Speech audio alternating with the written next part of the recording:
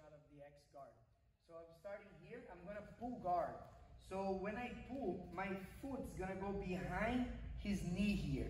And I rotate to be able to apply the X guard under his leg. And my other hand's to go under his leg. So as I'm here, I pull and hook my leg. When I get to here, see my X, come up a little bit. When I have my X here, I'm gonna use that momentum to push him forward, come up, classic stand up, knee on belly to get the sweep and the knee on belly points. So let's do it once. It's called take out the trash sweep. So I pull, push, stop right here.